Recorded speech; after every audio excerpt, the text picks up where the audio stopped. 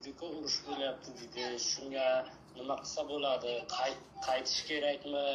Yo shu yoqda nimaga qo'shilsa mumkinmi? Ha endi savol berdingiz. Ho'p urush bo'lyapti. Rossiya bilan ukraina o'rtasida. Bu haqida man avval boshida boshlanganda aytganman. Musulmon odam bunga o'xshagan urushlarda qatnashishligi to'g'ri emas. Ya'ni aloqasi yo'q. Rossiya bilan ukraina o'rtasidagi fitna fasod urushlarga aralashmasin bizni rossiyada yurgan e, mehnat qilib yurgan kasb hunar qilib yurgan musulmonlarimiz xalqlarimiz aralashmasin. Bu gapni orqasidan chechenistonni harbiylari qatnashyaptiyu degan savolni ham berishdi menga. Ularni o'zini ishtihodi bor. Biz ularga e, rossiya chegarasida turganligi uchun rossiyani ular avtonom respublikasi bo'lganligi uchun ularni qiladigan ishi to'g'risida biz bilmaymiz. Ular o'zini ishtihodi qilishi mumkin. Agar bostirib kelsa rossiyadan ko'ra bizga ukraina zarari ko'proq degan bo'lishi mumkin. Unga biz bilmaymiz. Lekin e, rossiyada yurgan e, o'zbek fuqarolari tojik qirg'iz fuqarolari yollanma askar bo'lib qatnashishligi joiz emas. O'zbekiston qonunchiligi bo'yicha 15 yilgacha qamaladi. Shariat nuqtai nazaridan ham joiz emas chunki bizga aloqasi yo'q uni. Ya'ni bizni siyosiy vaziyatimizga e, ularni aloqasi yo'q. Hozir qaytish kerak hozirgi safarbarlik e'lon qilibdida ko'pchilik chiqib ketyapti biletlar narxi oshib ketgan deyapti. O'zbekistonga qaytish kerak degan e, vasvasa ham bor. E, buni ham shoshilmaslik kerak. U yerda agar boshqa ya'ni urushga aloqasiz o'zini kasbini hunarini qilib savdosini tijoratini qilib yurgan odamlar. Kasbi hunariga zararli ish bo'lmasa turgan joyida ishini davom ettirgani yaxshi. Yo'q desa bu yoqqa qaytib kelsa zarari yo'q. Lekin ommaviy shakl shaklda e, bu urushga e, qatnashish bularni e, yollanma askarga aylanish to'g'ri emas. Tushunarlimi? Qarang domla yana bir savolim bor edi. Hozir paxta terilyaptiku. Hmm. Endi men o'zim fermerlik joyimiz bor.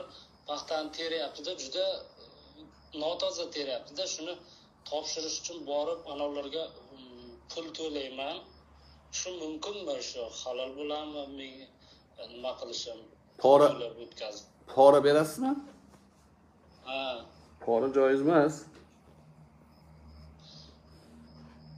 bo'lmasa shuncha odamga nima qilolmayapmanda men endi man e, o'qigan kitoblarda yo'q lekin poraga bir yo'l yo'q. Hozircha e, sal kamroq kitob o'qidim shekilli. Mabodo yana o'qib ko'raman agar chiqib qolsa bir fatvo berib yuboramiz ho'p. Lekin hozircha man bilishimcha yo'q. Nima qilsam bo'ladi masalan men nima qilsam joiz bo'ladi masalan? Rizq ollohdan olloh harom qilgan narsadan najot kutilmaydi payg'ambar alayhissalotu vassalom arroshi val murtashi finnar deganlar. Pora olgan ham pora bergan ham jahannamda deganlar. O'sha e, siz qilayotgan ishingizni to'g'ri yo'nalishda davom ettirishingiz kerak. E, endi sizni ish faoliyatingizni man bilmayman. Nima qayerda qanaqa lekin pora harom. Pora haqida so'rayapsiz sizga pora haqida bir narsa topib berolmaydi hech kim. Harom bo'ldi. Nima qilishim kerak degan gapga musulmonlar aytadiki halol yashashingiz kerak. Hozir suhbatni boshida gapirdik biz. Biz mabodo oliy bo'lib haqiqiy ma'noda allohni roziligini topishimiz kerak bo'lsa mo'min bo'lishimiz kerak. Muammo bo'lib qoldi endi pora bermasak bo'lmaydi. Unaqa bo'lmaslik kerak mo'min odam. Rizq ollohdan borini ishini to'g'risini harakatini qilish kerak. Alloh ishlaringizga rivoj bersin xirmonga baraka bersin inshaalloh yaxshi bo'ladi salomat bo'ling rahmat millatchilik qilish haqida savol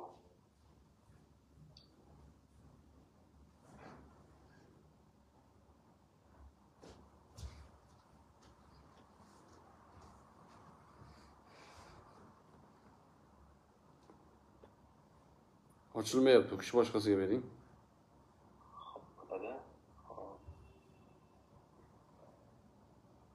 hadis haqida savol degan profil bor ekan.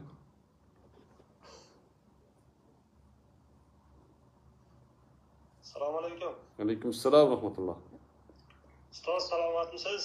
Allohga shukur allohga shukur siz bilan gaplashish nasib qildi ustoz. Salomat bo'ling. Ustoz mana shu ko'p o'sha o'qigan kitoblarimizda o'sha hadislardan namunalar keltiriladi. Shunda shu beshovlar rivoyat qilgan degan jumlani ko'p o'qiymizda. Mhm. mana shu jumlani bir tushuntirib bersangiz o'sha beshta o'sha muhaddis bo'lsa kerak shu muhaddislar kim? Nimaga endi bu bularni o'sha o'sha beshovlar rivoyat qilgan bu asosiy nimaga qo'shiladi? Shu haqida bir tushuntirib bersangiz bizga ham qolganlarga ham foydali bo'lsa xursand bo'lardik. Hmm. Xo'p, u u narsa muallifning uslubiga bog'liq.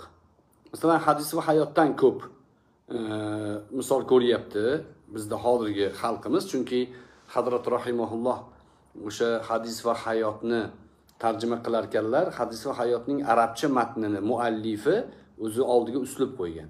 O'sha uslubda agar e, to'rttalalari rivoyat qildi degan bo'lsa, yuqorida Abu e, Imom E, Buxoriy va Imom Muslim va Abu Dovud va Termiziy misol uchun shuni nazarda tutgan. Agar e, oltita ravidan faqat beshtalar rivoyat qildi degan bo'lsa, unda Imom Buxoriy, Muslim, Abu Dovud, Termiziy, Nasai, Ibn Mo'ja misol uchun. Mana shularni tartibini qo'ygan bo'ladi. Bu muallifga bog'liq. Muallif bu usulni kitobini muqaddimasida aytadi. Men mana shu mana shu usullarni o'rtaga qo'ydim.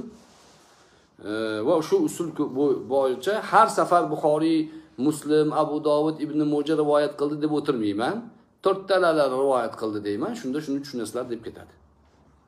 tushunarlika o'zi hadis istilohlarida ulamolarimiz hadisga aloqador e, mavzularida sahihayn deganda asosan Buxoriy Muslim to'plamlari tushuniladi. Sunan kitoblari deganda to'rtta sunan kitobi tushuniladi. Abu Dovudning sunanlari, Imom Termiziyning sunanlari, Ibn Mo'janing sunanlari, nasaiyning Nasaining sunanlari tushuniladi. E, musnat deganda masalan a, imom ahmadni musnatlari tushuniladi muvattoi molik to'g'risida ulamolar ixtilof qiladi muvatto sahih hadis to'plamiga kiradimi o'zi yoki fiqh kitobimi bu Chunki- chunki unda hadislar bor. Hadislarga bob ajratgan va imom malik hadislarning fiqhini e, ya'ni bayon qilgan. Shunga ko'ra fiqh kitobi ham deyiladi uni. E, mana shunaqangi uslublar bor. Endi bunda biroz nisbiylik bor. E, sunanlar to'g'risida qaysi biri oldin turadi? Sahih to'plamlar to'g'risida qaysi biri birinchi o'rinda turadi? Imom muslim diyorlarida yashagan musulmonlarimiz imom muslimni birinchiga qo'yishadi. Malikiy mazhabi e, muttabialari muvattoi molikni eng sahih to'plam deyishadi. Birinchiga qo'yishadi. Lekin jumhurni e, ittifoqi bilan imom buxoriyni sahih to'plamlari eng sahih to'plam deb e'tibor qilinadi. Biz buxoriy yurtidan bo'lganligimiz uchungina buni aytmaymiz. Butun millat butun xalq buni e'tirof qiladi. Mana shunaqangi usullari bor. O'sha usulga ko'ra e, siz aytayotgan terminlar yuzaga kelgan. Ular nisbiy terminlar. Tushunarlimi?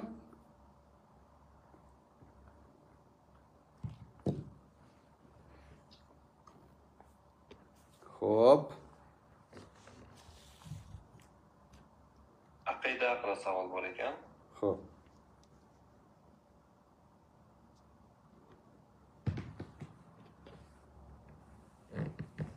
aqida haqida mikrofonni bosib gapirasiz. Assalomu alaykum. Alaykum assalom rahmatullohi va barakatuh. Ustoz yaxshimisiz? Rahmat. Jasur mikrofon bekitib qo'ying o'zingizgina aha. Labbay.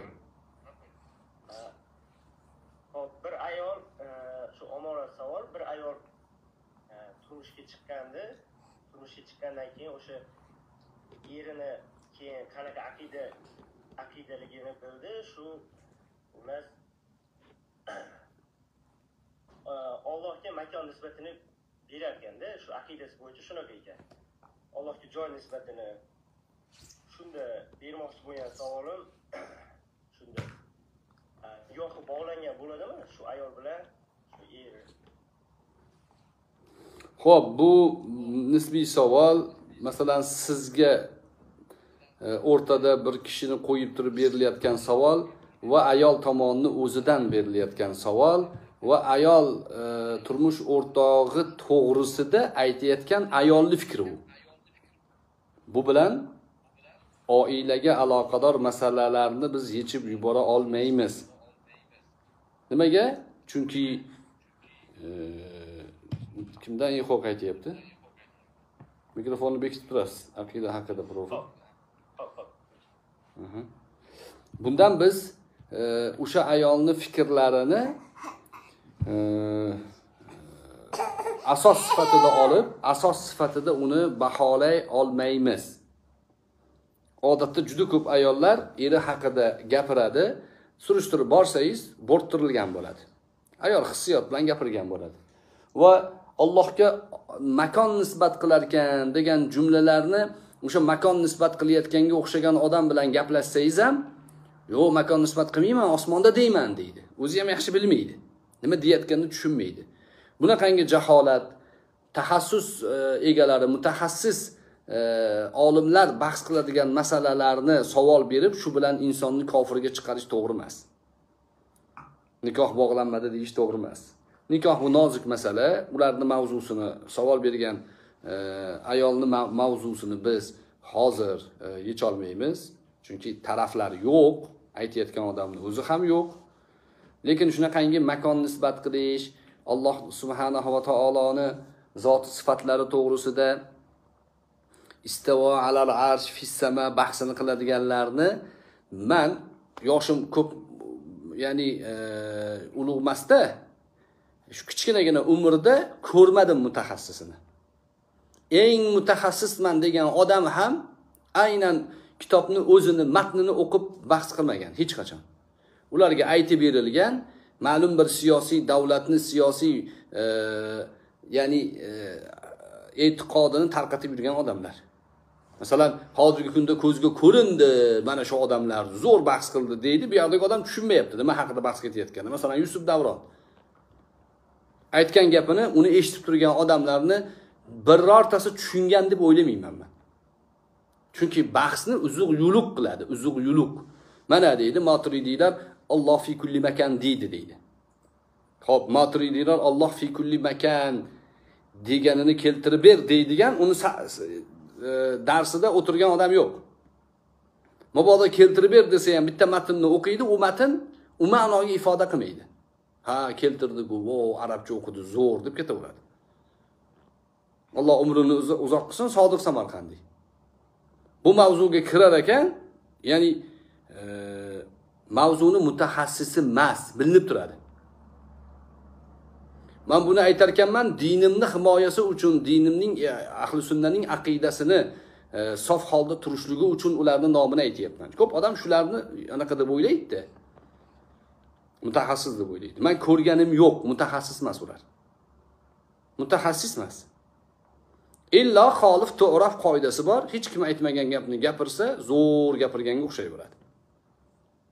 Natija mana shunaqa. U Sodiq Samarqandiy birodarimiz, Yusuf Davron birodarimiz o'zini gapini to'g'rilab ketarda uni eshitib yurgan odamlar tuzoqqa tushadi. Qanaqa tuzoqqa tushganligini o'zi bilmaydi. Eng yaqin birodari bilan urushib, janjallashib, ixtiloflashib, er xotin o'rtasida shu masalalarda to'polon chiqib turaveradi. Oilalarni buzilishiga sabab bo'ladi. Kerakmi? Kerak emas. Keyin men e'tibor berdim, ba'zi quloqlar bor. Quloq. Bir qarasa, o'sha Mahmud Abdul Mo'min bilan do'st bo'lib olib, u bilan e, alohida gruppa tuzib olib dars qilib yurgan bo'ladi. Bir qarasangiz, ularga dushman bo'lib bizga kelib ularni sotadi. Bir qarasangiz, Abraham Mosheni e, qo'shtirnoq ichidagi e, jufti haloli bo'lib oladi, turmush o'rtog'i. Bir qarasangiz, uni padvadit qilding san, damini ol deb so'kishib, e, одинокий волк deb nom qo'yib oladi. Bir qarasangiz yana sizga bizga dushman bo'lib oladi. Shu shu mana shunaqangi bolalardan bittasi kirib olib gruppalarda istavo alal arshni ma'nosini zohir ma'no bu. Fissamoni qandoq tushunamiz? Nuzuli rob nima degani deb savol berib fitna qo'zg'ab o'tiribdi. O'zi hech narsani tushunmaydi. Tushunmaydi. Tushunmaydi. Bu mavzu oddiy ya'ni avom xalqning mavzusi emas. Avom xalqni mavzusi emas. Abu homidul g'azoliy aytadilar yo'q abu hamid g'azoiy ibn qudoma aytadilar. Ibn qudoma malikiylardan. Bu kishi aytadilarki odamlar ichida mutaxassislarning mavzusini bahs qilishlik eng katta fitna degan. Avom oddiy xalq ichida mutaxassislarning mavzusini tashlayotgan odam eng katta fitnachi. Eng katta fitnachi o'sha. Nimaga? Zotan xalq uni tushunolmaydi xalqqa u kerak emas. Istavo masalasi xalqqa zarur emas. Qabrda ham so'ralmaydi qiyomatda ham so'ralmaydi jannatga kirishligida so'ralmaydi. Istavo alal arshni ma'nosi undan. Omma xalqimizdan o'zimizdan bizdan besh vaqt namozimiz so'raladi ramazon ro'zamiz so'raladi qilgan yaxshiligimiz so'raladi yomonligimiz so'raladi. Bularni tepasida turishimiz kerak. Shuning uchun siz berayotgan savolda mavzuni aloqador tomoniga qisqaroq aytyapmanda. E'tibor bermaslik kerak va savol berishlik ma'nosida yechimsiz savol sifatida e'tirof qilinadi u chunki ikki taraf yo'q. Tushunarli salomat bo'ling.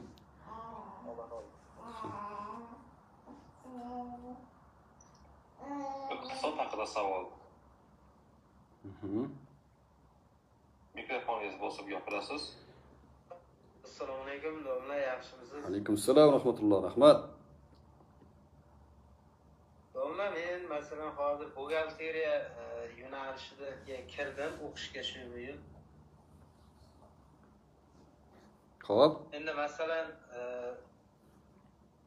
masalan har xil e, harom masalan alkogol shunaqa bank bank emas endi alkogol ishlab chiqaradigan joylarda masalan hisob kitob qilish masalasimi e, shunga o'xshash joylarda ishlashi mumkinmi? Yo'q mumkin emas. musulmon odam shariat harom qilgan joylarda ishlasa joiz emas. Zarurat bo'lmasa zarurat u shariat ko'rsatgan mezon bo'yicha bo'ladi. Alloh taolo harom narsalarni zikr qilgandan keyin oyatni davomida فَمَنِ اضْطُرَّ غَيْرَ بَاغٍ وَلَا عَادٍ فَلَا إِثْمَ عَلَيْهِ degan kim muzdar zaruratga tushib qolsa haddan oshmagan chegarani buzmasdan e, ehtiyoj qadar foydalansa fala isma alayh gunoh yo'q degan savob demagan gunoh yo'q chunki e, ikkita zarar to'g'ri kelib qolganda inson e, yengilini tanlashlikka haqqi bor Hmm. shundoq ekan siz o'qigan faningizni e, to'g'ri yo'nalishga yo'naltirishingiz kerak. Alloh harom qilgan narsalarni rivoji uchun hissa qo'shmaslik kerak. Tushunarlimi? O'sha o'sha masalan e, iqtisod yo'nalishim bo'yicha bankdan boshqa sohalarda moliya sohasi shunaqada ishlashim mumkin. Albatta ha? halol bo'lgan sohalarda ishlash mumkin. Bank sohasida ham shariatga muvofiq bo'lgan e, yo'nalishlarda ishlash joiz. Masalan islomiy banklar bor muzoraba murobaha musharaka kabi e, ya'ni shartnomalarni iqtisodiy ma'noda mutaxassislar hisobini chiqarish kerak. Shunaqa sohalarda ishlasa bo'laveradi tushunarlika rahmat. Sizdan salomat bo'ling. ho'p qarz oldi berdisi haqida savol. Mikrofoningizni bosib gapirasiz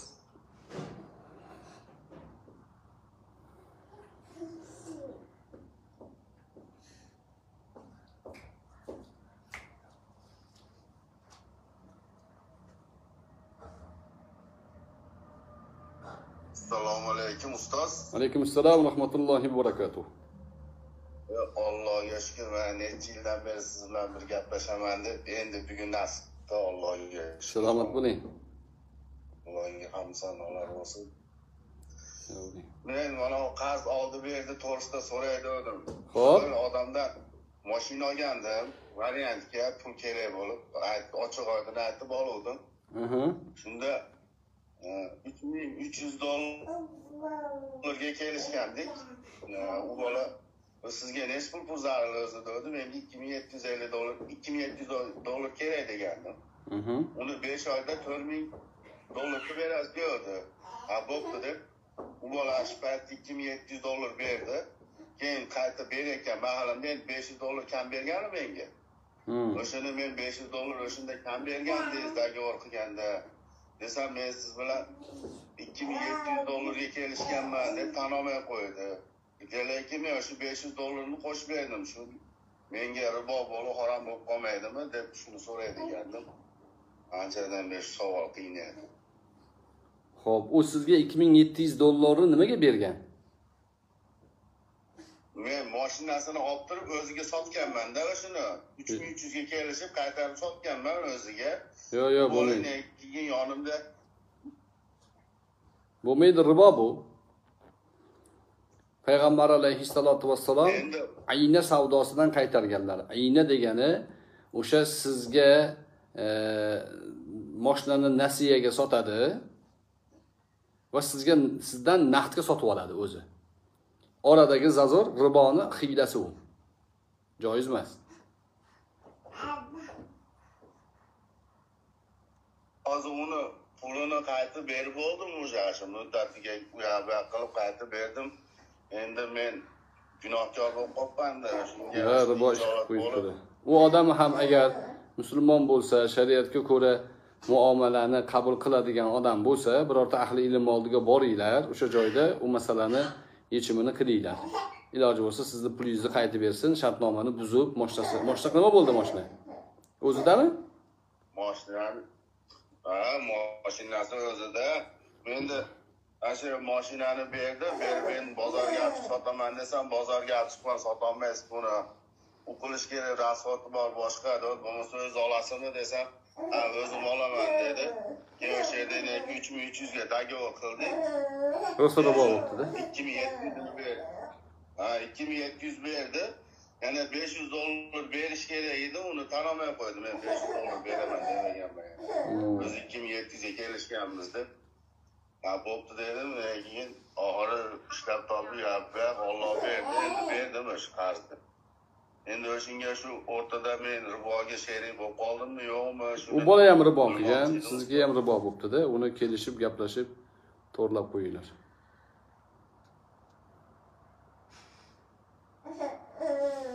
Xo'p, boshqa savol yo'qmi? Hop. E, Sodiq sukun haqida yana savol bor ekan.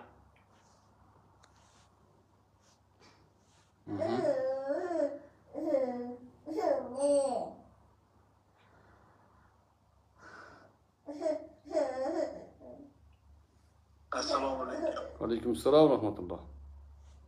huzur bezovta qildim e, bir narsani so'rayman ko'pchilik so'ragandir. Shu kunlarda bo'layotgan shu sodiq sukun haqida. Siz bu yerdan sodiq sukundan chiqib ketibsiz ustoz. Mhm. biz endi hozir ko'pchilik uylana olmay sizga shu savolni berolmayotgandir E, ochiqcha sizga ayta olasizmi sabab nimaga chiqib ketganingizni so'rayotganim uchun hijolat bo'lib so'rayapman ming bor uzr chunki noto'g'ri informatsiyalar e, tarqashni boshlagani uchun so'rayapman chunki biz sizni hurmat qilamiz siz uchun sodiq sukulga harakat qilgan bilamizda Hmm. ko'p e, tanishlarim shu ukalarimiz sodiq sukulga kirishdi. Ular ham siz uchun kirishdi. Boshqa hamma ustozlarni hurmat qilamiz. Lekin e, ko'proq sizni sizni reklamalarda ko'rib sizni shu e, telegram kanallaringizni ko'rib qiziqib shunga kiriluvdi endi nima nima bo'ladi bu yog'i shu sodiq sukulni o'zi nima bo'ldi degan savolim bor edi bu savol sifatida qabul qilasiz ming bor uzr so'rayman agar ko'nglingizga teggan bo'lsam Yo'q, yo'q, bemalol. Bu qanaqa gap tarqayapti ekan? yo'q endi shu sodiq sukuldan haydaldi degan to'g'rirog'i aytgani hijolat bo'lmadi endi to'g'risi shunaqa gaplar ho'p bu haqida mavzuni man e, o'sha yerda o'qishga kirgan o'qiyotgan bolalarga ta'sir qilmasligi uchun e, ya'ni oxirigacha bormasdan tashlab e, mavzuni yopib ketishga harakat qildim. Lekin juda siz mandan hijolat bo'lib savol beryapsiz. Man o'n karra ustunroq hijolat qilyapman. Chunki har narsamizni yo'naltirib talaba ilm e, yetishtirish xalq uchun millat uchun yangi maktablar o'sha eski ajdodlar amalga oshirgan jadidlik harakatini yo'lga qo'yish harakatimiz bo'lgan. Buni biz meni suhbatlarimni eshitib yurgan odamlar sodiq sukul ochilishdan oldin ham bu gaplarni gapirib yurganimizni biladi hamma. Maktab ochishlik to'g'risida. Va to'g'ri kelib qoldi. Bizni yonimizda yurgan o'zi kelib man xizmat qilay oldinglarda deb yurgan bola. Xurshidni ukasini taqdim qildi. Ukam e, yaxshi o'qitadi dedi. Shuni atrofiga jamlaylik. Yordam qiling dedi. Bo'ldi dedik. Harakatni qildik. Harakat bo'lganda endi moliyaga ehtiyojimiz bor. Katta miqdorda pul sarflash kerak. Pulsiz ochib bo'lmaydi maktabni частный maktab. Joyni arendasi bor uni xarajatlari bor. Nima qildik? Bizni meni yaqin tanishimga yaxshi e, tijoratchi e, ziyoli odamlarga xurshid kelib iltimos qildi. Boshqa odamlarni taklif qildi. Palonchi pistonchidan pul so'raylik dedi. Bo'lmadi ular o'xshamadi. Keyin bu odamdan so'raymiz dedi bo'pti so'ra dedim. So'radi ular pul tikdi. Va ularga o'ttiz foiz ajratib berishdi. O'ttiz foiz. Endi bu yoqda yetmish foiz qolgan. Yetmish foiz bizni o'sha u yerda o'qituvchilar bor eng yaxshi odamlarni jalb qilamiz deyilgan. Bo'ldi harakat ketdi. Taxminan e, qancha? Olti oy harakat bo'ldida. Ko'rdingiz reklamalar hamma narsa bo'ldi. Hmm, abror muxtor ali nimaga haydaladi u yerdan ularni masalan xurshidni fikri bo'yicha to'g'ri haydalgandirman chunki xurshid katta odam bo'lib ketgan u haydab yubora oladi shunaqa tushungan bo'lsa gap yo'q. E, o'zicha endi man fidokorman fidoyi bo'lganman deb yuribdi ekan u yoq bu yoqda. Fidoyiligini narxini aytyapti. Abror aka bilan yurib sakson ming dollar xarajat qilib yubordim debdi. Ya'ni u manga xarajat qilmagan. Xullas pulga chaqqan hamma narsasini. O ikir chiqir hamma narsani o'ylab yurgan. Keyin nima bo'ldi yetmish foizi taqsimoti bor bu yoqda to'satdan nima deyishdi? E, ya'ni ellik foiz ukamniki dedi. To'satdan biz gaplashdik. Man dedim uchreditel qilib kirgizib qo'y meni dedim. Yetmish foizga uchreditel qilib kirib. Abror muxtor ali hamma joyda ko'rinyapti. Ertaga bu o'zbekiston qonunchilik davlati ta'lim masalasi bo'yicha kimdir keladi kimdir ketadi. Abror muxtor ali bu yerda reklamщик emas jonini hayotini fido qilib shu maktabga xizmat qilmoqchi. Deb yetmish foizga uchreditel qilib kirgizib qo'y dedim. Uchga uchga taqsim qilib kirgizib qo'ysa kirgizib qo'yadi. Ukasi bor o'zi bor man bor. Bo'ldi bo'ldi bo'ldi deb yurdida keyin ochildi. Man endi dokument ishlariga qanaqa qilib aralashaman qo'lim biz birga yurgan bolamiz. Ochildi o'tdi. Uch kundan keyin ko'rishsak aytyaptiki ellik foiz ukamniki u ham mana yuzdan ellik foiz ukamniki yana yigirma foiz qolyapti. Uni o'n foizi yana bir ikki uchta ukalarimniki o'n foiz meniki besh foiz sizga beraman deyapti manga. Buni endi qanaqa qilyapti? Zapis qilib olib gaplashyapti. U sinfxonada. Ko'rib turibman kamera turibdi zapis qilyapti. Keyin man aytdimki aslida manga pul kerak emas. Agar pulga chaqadigan bo'lsang katta miqdorda pul so'raydigan holat. Manga kerak emas pul. Manga bu pulni shunaqa deb gapirganing uchun man bu yerda ishlamayman. Desam ey sizni orqangizdan ko'p odam kelmagan yigirma foiz odam kelgan xolos deyapti. Man umuman hijolatman. Har doim manga telefon e, yozib yotibdi yaqin o'rtoqlarim. Yozib yotibdi bir yilligini oldindan to'lab kirgan. Nima deyman endi nima qilaman? Hozir nima man hamma narsaga rozi bo'lib borib u yerda xizmat qilmoqchi edim. Uch marta so'radim hasan xo'jadan grafikni ber haftasiga necha marta dars qo'yyapsan menga? Uch marta qo'ysam bo'ladimi? Ha bo'ladi. Ikki marta qo'ysam bo'ladimi? Yo'q uch marta qo'y. So'rayman so'rayman ochildi uch kun o'tdi besh kun o'tdi. Yo'q. Na grafik bor oxiri aylanib ketdi. Xullas mana shunaqa narsa bo'lgandan keyin qarasam u yerda shunaqa reja bo'lgan meni bilishimcha.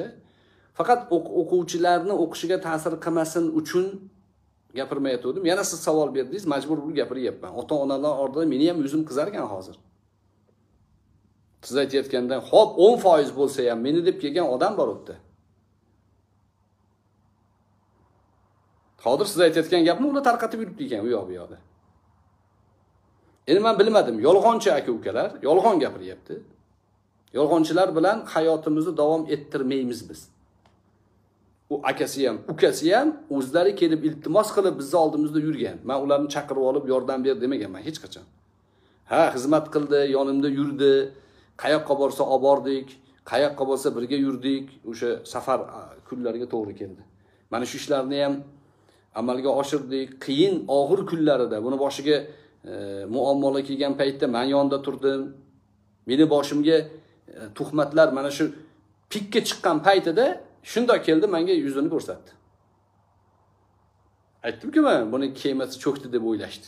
O'shalardan bittasi shular. Yaqinda ketib qolsa kerak ana ketib qolsa kerak deb yurishdi. Moment topgan zoti ketishdi.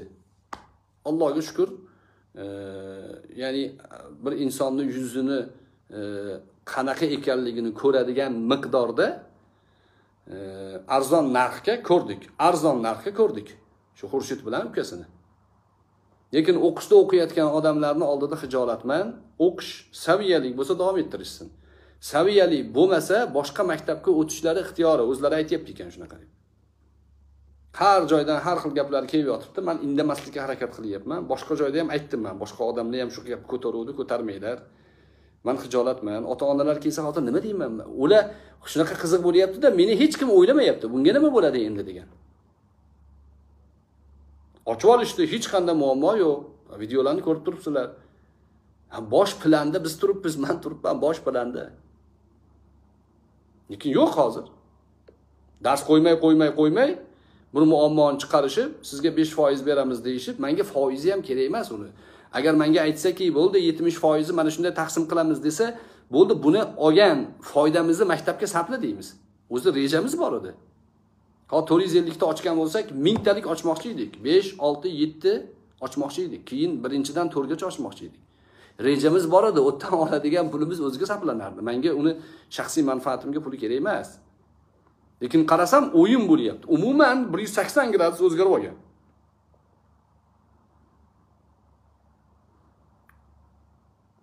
Shu masala bo'yicha shu masala bo'yicha ota onalarmi kimdir bularni olib kelib boshqa bir ahli ilmni o'zlari bilgan ahli ilmni o'rtaga qo'yib shu masalani ko'tarsa ularni yuziga tupuradi.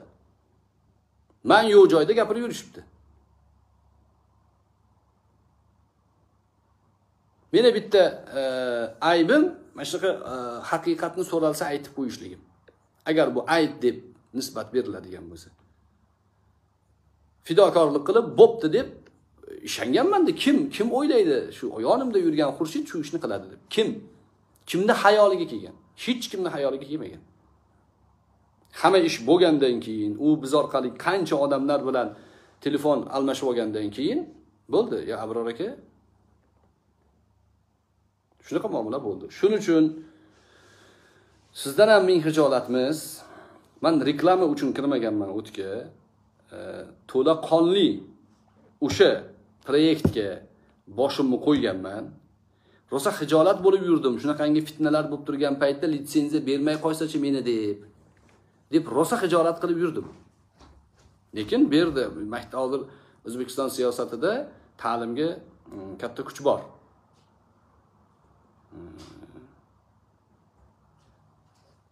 Xullas shunaqa gapda manga aytyapti pul tikkanmisiz? deyapti. Pulga taqayapti har narsani siz pul tikmagansizku? deyapti.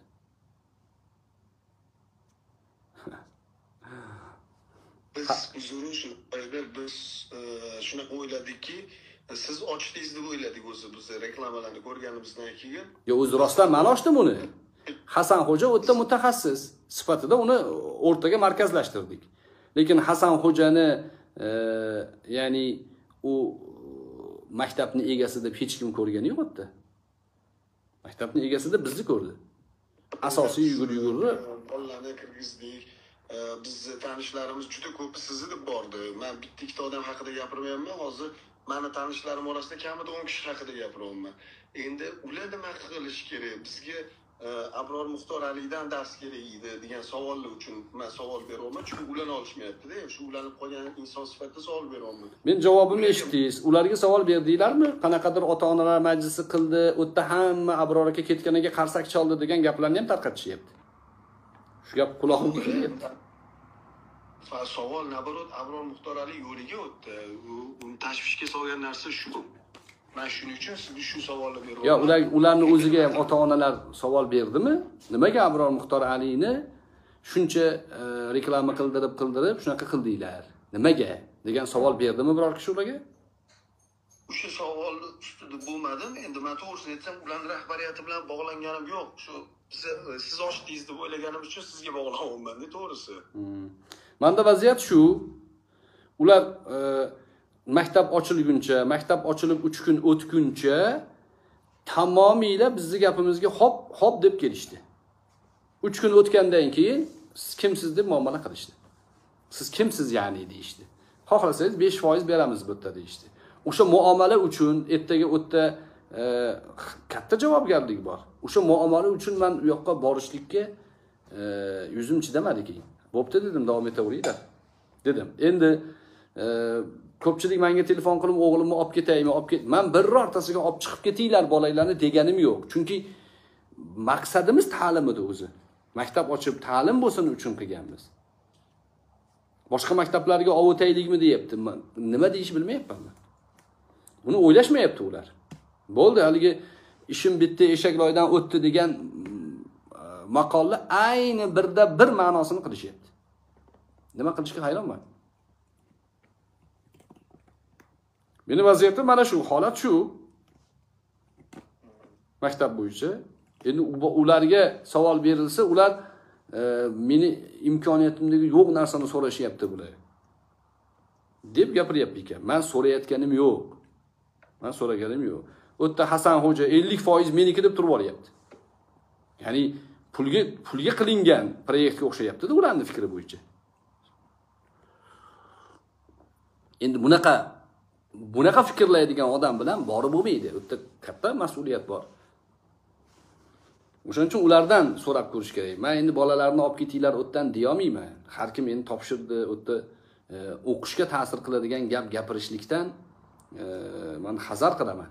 O'qishga ta'sir qiladigan gapni keragi yo'q. Lekin atrofimda yurgan yaxshi do'stlarim bor o'zimizga yaqin odamlar bor biz birgalikda ko'p safarlarda yurganmiz shok bo'lib qolishdi shok. Xurshidni basharasiga qarab shok bo'lib qolishdi. Bir odam gaplashib yurasiz yurasizu keyin uch yuz oltmish gradus aylanib o'zgarib ketadiyu kuti- kutilmagan narsa.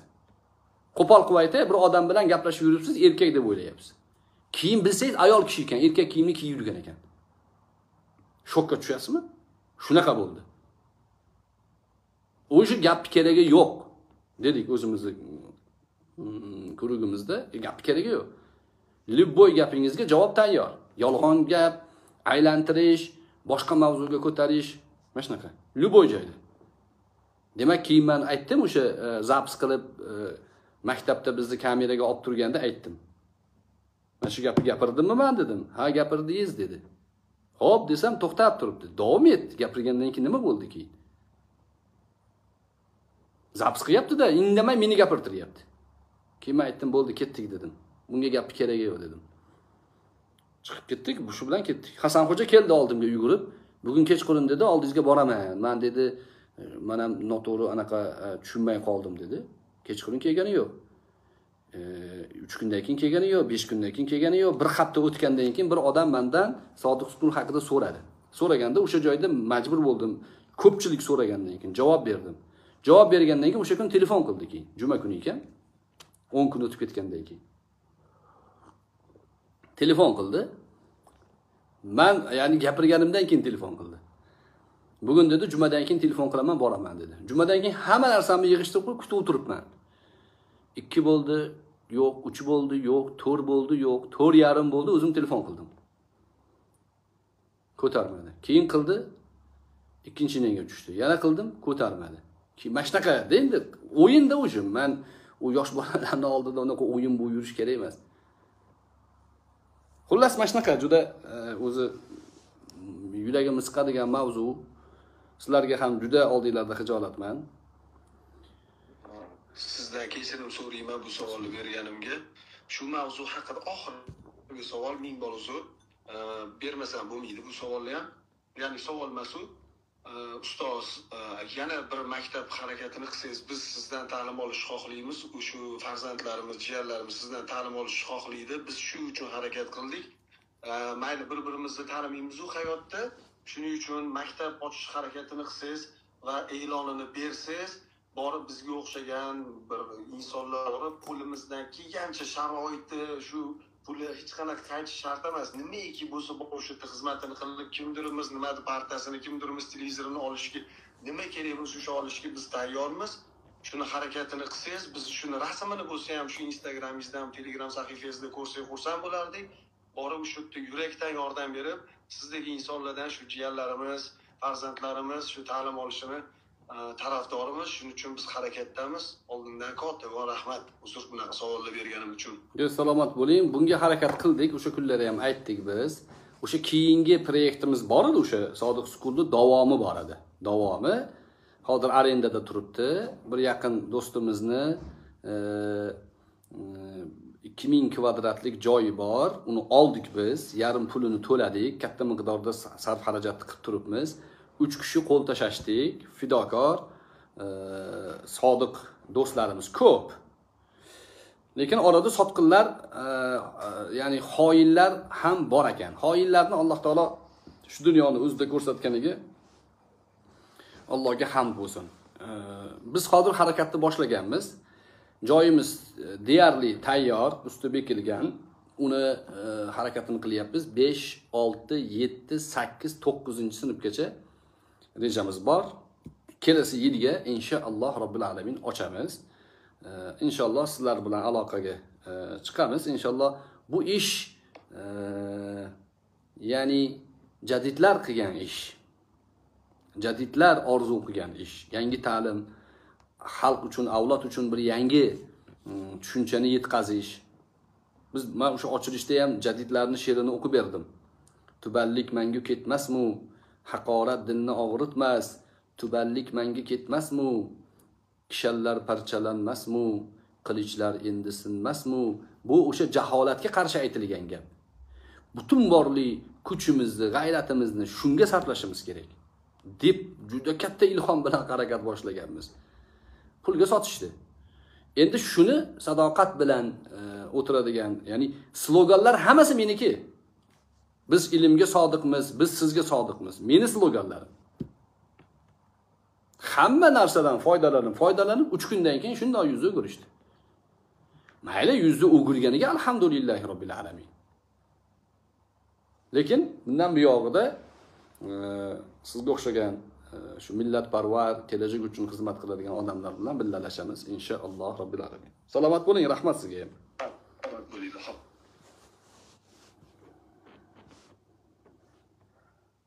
Hop, haqida savol bor. Mikrofoningiz bosib gapirasiz. assalomu alaykum rahmatullohi va barakatuh ustoz alaykum assalom rahmatullohi va barakatuh meni savolim e, sport haqida edi E, e, sportda birovni joniga ozor berish bo'ladi bu gunohmi demoqchiligimda shunday sport turlari e, payg'ambar alayhissalotu vassalom davrlarida bo'lgan qilichbozlik kamon otish suzish ot minish o'sha davrni sporti yugurish shunga o'xshagan sportlarni payg'ambar alayhissalotu vassalom qo'llab quvvatlaganlar sahobalar o'rtasida bunaqa e, sport turlariga targ'ib qilganlar. Ikkita sahoba e, jihodga man chiqqanman man chiqaman deganda kurash tushirganlar. Yutganini olib chiqqanlar. E, kamon o'tishni allimu sibyanakum eh, eh, arromyata ar-romyata va sibahata va rukubmi shunaqa ma'noda? "Aw kama rasululloh sollallohu alayhi vasallam. Hadislari bor. Farzandinglarga suzishni u kamondan o'q otishni va ot minishni o'rgatinglar deganlar. O'zlari o'zlari oysha onamiz roziyallohu taolo anho bilan yugurish musobaqasi qilganlar. Yugurish musobaqasi. Dastlab yutqizib qo'yganlar ya'ni keyinroq e, o'zib ketganlar. Keyin birga bir bo'ldi deganlar. Mana shu hadislar rivoyatlar bor. Oysha onamiz e, o'sha e, askarlarni qilich bilan bo'ladigan musobaqalarini tomosha qilardilar. Payg'ambar alayhissalotu vassalomni yelkalariga boshlarini qo'yib tomosha qilib turardilar. Bular e, sport turlari. Va hadis bor. Rasululloh sollallohu alayhi vasallam aytadilarki sahih rivoyat imom buxoriyda kelgan rivoyat aytadilarki al mu'minul qaviyu khayrun va ahabbu ilallohi minal mu'minid doif va fihima khayr deganlar. Kuchli mo'min kuchsiz mo'mindan ko'ra Alloh uchun yaxshiroq va mahbubroqdir va ikkalasida ham yaxshilik bor deganlar. Yaxshiligi iymon mo'minligi. Kuchliroq mo'minni e, zaiflarga manfaati bor. Shuning uchun musulmon odam sport bilan shug'ullanishligi kuchli quvvatli bo'lishligi yaxshi. Sog'lig'iga yaxshi ibodatda nashot bo'ladi va ko'pchilikka yuk kelgan paytida ko'proq yuk ko'taradi. O'sha jihatidan unga savob ajr bo'ladi.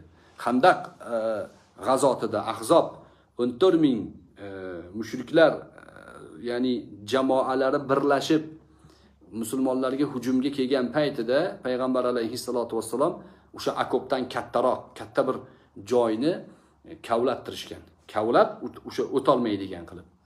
O'shanda kuchlilarni maqtaganlar. Ovqat yo'q yemish yemish yo'q qiyinchilik issiq. Ba'zilar ro'za tutib olar ekan asrdan keyin peshindan keyin ishga yaramay qolar ekan o'shanda aytar ekanlarki bugun ro'za tutmaganlar ajrni savobni olib ketdi derkanlar. Ajr savobni olib ketdi. Ro'za tutish emas ba'zan tutmaslik ajr bo'lar ekanda. Ba'zida ro'za tutmagan odam kuchli quvvatli bo'lib ko'pchilikka xizmat yordam tegar ekan payg'ambar alayhissalotu vassalom e, masjid qurilishida hamma hamma bittadan g'isht tashisa ammor ikkitadan g'isht tashirkanlar. Uni maqtardilar. Ammor naqadar ajoyib inson deb maqtardilar. Ya'ni xizmatga nashot bo'lish uchun. Endi nojoiz e, chegarasi bormi? Bor. Yuzga urish o'sha e, zarar beradigan o'ziga e, musulmonlarga zarar beradigan sport turlari harom nojoiz. Masalan boks bilan shug'ullanishni zarari yo'q. Ya'ni o'zingizni himoya qiladigan kuchga ega bo'lish uchun u taktikalarni o'rganishni zarari yo'q. Lekin e, birovni yuziga urishni shariat qaytaradi. Chunki yuz alloh subhanahu va taoloni e, ya'ni o'zi yaratgan hammasini o'zi yaratganda uni xoslagan.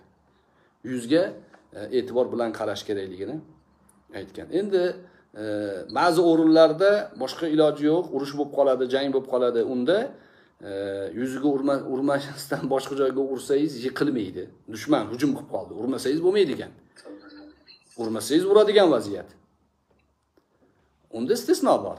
Lekin shunaqangi sport turlaridan e, shariat qaytargan ya'ni insonga zarar beradigan sport turlaridan. Masalan bodybuilding building kulturizm.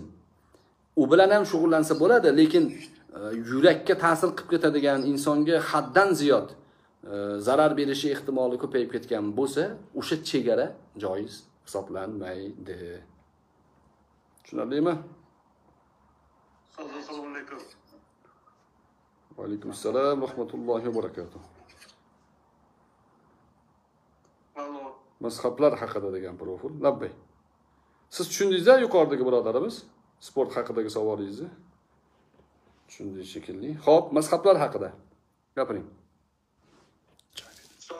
alaykum alaykum assalom va rahmatullohi va barakatuh ustoz suhbatlarda eshitib boramiz ancha bilimimiz oshyapti allohga beada shukrlar bo'lsin allohumma savolim shu o'zim yuristman. Shu mazhablarni